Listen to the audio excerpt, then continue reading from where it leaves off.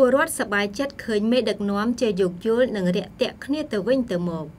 ទន្ទឹមនឹងរឿងពពកខ្មៅនយោបាយក្របបាំងបរិយាកាសនៃសង្គមកម្ពុជាមួយផ្នែក ហើយឈានទៅដល់ការភ័យព្រួយពីការព្យួរ EBA របស់សហគមន៍អឺរ៉ុបបន្តមកទៀតគឺការរាតត្បាតនៃមេរោគ COVID-19 អារម្មណ៍ពលរដ្ឋរស់នៅជាប់ដោយមន្ទិលជានិច្ចក៏ប៉ុន្តែរឿងមួយដែលបានជ្រុតជ្រាបកាលពីរសៀលថ្ងៃទី5ខែឧសភាបានធ្វើឲ្យប្រជាពលរដ្ឋមានអារម្មណ៍ធូរស្រាលចិត្តបន្តិចដែរ។ ជាការពិតរឿងរ៉ាវទាំង3នេះពិតជាមិនបានសម្លាប់ជីវិតឬក៏ជីវភាពរបស់សង្គមពលរដ្ឋកម្ពុជានោះទេប៉ុន្តែម្នាក់ម្នាក់រស់នៅដោយជាប់ជាមួយនឹងក្តីមន្ទិលនិងការព្រួយបារម្ភចំពោះរឿងទាំងនេះជាបន្តបន្ទាប់ពីព្រោះវាគឺជារឿងជាតិនិងប្រជាពលរដ្ឋទាំងអស់គ្នាក៏ប៉ុន្តែក្រោយពេលដែលបានឃើញរូបថតប៉ុន្មានសន្លឹកម្នាក់ម្នាក់មានអារម្មណ៍ថា បានធូរនិងសប្បាយចិត្តបានមួយគ្រាផងដែរ រូបភាពនិងព័ត៌មានដែលនាំឲ្យយើងខ្ញុំទាំងអស់គ្នាបានធូរស្រាលចិត្តនោះគឺជំនួបរវាងប្រមុខរាជរដ្ឋាភិបាលនិងលោកកឹមសុខា ដែលជាអតីតមេដឹកនាំគណៈបកប្រឆាំងដែលត្រូវបានរំលាយចោលដោយការសម្រេចរបស់តុលាការកំពូលកាលពីប្រមាណឆ្នាំមុន នៅក្នុងពិធីបុណ្យសពអ្នកអុកញ៉ាព្រឹទ្ធមហាឧបាសិកាធម្មញានវិវឌ្ឍនា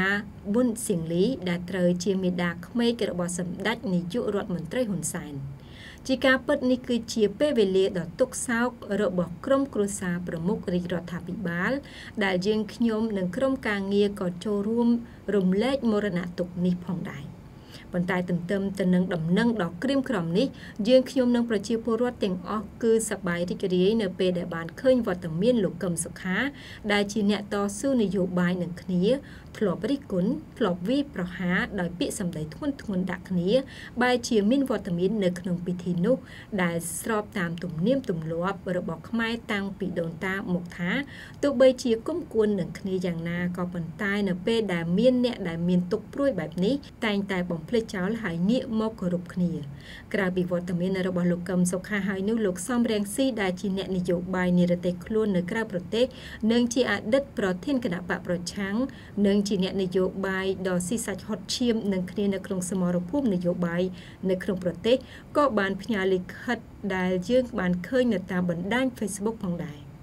ជាមួយនឹងសារព័ត៌មាននិងរូបភាពទាំងអស់នេះម្នាក់ម្នាក់មានក្តីសង្ឃឹមច្រើនថា ស្ថានភាពរបស់ប្រទេសយើងនឹងមានការប្រែប្រួលក៏ប៉ុន្តែយើងខ្ញុំមិនសង្ឃឹមជាអ្វីធំដុំនោះទេទោះបីជាយ៉ាងណាក៏ដោយយើងខ្ញុំសប្បាយចិត្តដែលឃើញមេដឹកនាំមិនចងអាឃាតនឹងគ្នាចេះយោគយកគ្នានិងចេះស្គាល់កលៈទេសៈ អ្វីដែលយើងខ្ញុំសង្ឃឹមនៅពេលនេះគឺយើងទាំងអស់គ្នាជាខ្មែរត្រូវចេះប្រឈមនិងចេះដោះស្រាយចេះចងត្រូវចេះស្រាយហើយបន្តរួមគ្នាធ្វើយ៉ាងណារកកន្លឹះរុញច្រាននៅពពកខ្មៅចេញពីបរិយាកាសនៅក្នុងប្រទេសកម្ពុជាហើយរីគិត ត្រឡប់នឹងដោះស្រាយការព្យួរ EBA រួមគ្នា